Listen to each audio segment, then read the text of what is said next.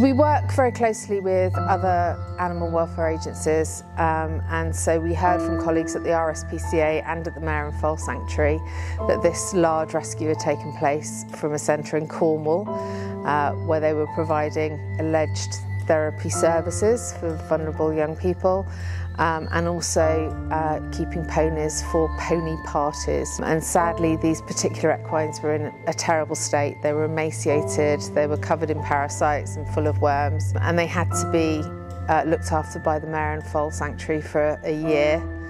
Um, and then they needed a new home.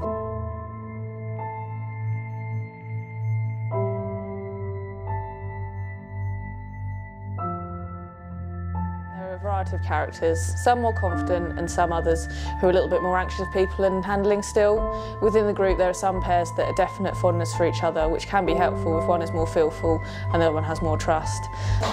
Due to the lack of basic handling these ponies can often present with behaviour stemming from the fear of not understanding what is happening or if they're going to be safe or what might happen next. They often won't have the same interactions with equine professionals like vets or farriers so can often present challenging behaviours within these situations. I think the big thing with Shetlands is they're also really small. So um, there's a couple of things we find is that one, a lot of the equipment is quite big and they're quite small, so it's a bit more like treating a, a large dog. Um, so some of the equine equipment we have to have um, adapted or we have to use different things um, so that it's the right size for them. Um, the other thing is because they're little, often um, we find that people have been able to overpower them in the past. So the way of restraining them, um, unlike larger horses who are often trained to be used to normal handling and husbandry procedures, um, people kind of wrestle little Shetlands and really overpower them.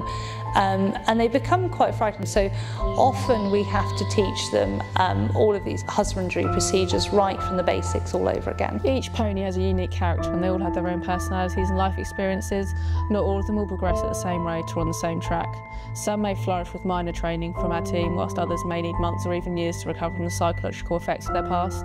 With Lots of our welfare cases come in and because they haven't had good nutrition in early life, we um, often find, especially with the youngsters, that they have some um, orthopedic problems as they grow. A lot of our rescue cases have really high worm burdens, so we often see ongoing gastrointestinal issues with, with them, um, more prone to weight loss, um, more prone to things like diarrhea. And actually, you know, in the case of these little ponies, unfortunately, over the winter, they did have a bit of an unfortunate episode uh, of diarrhea where they had a Clostridia infection. And fortunately, we were able to treat it relatively easily and none of them got particularly sick with it.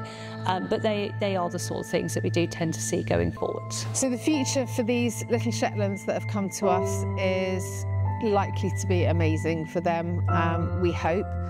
You never know when youngsters have been exposed to extremely poor welfare conditions, um, especially with parasites being involved. You can't be 100% sure that they're frankly all going to make it long term. Sometimes the damage done to a pony's gut by worms can be so significant that only two or three years down the line is it apparent that they're actually not able to, to make it through. But fingers crossed, Shetlands are very robust as a breed. So fingers crossed that physically they'll all be fine um, and they will get the best possible veterinary and farriery treatment and whatever else they might need here.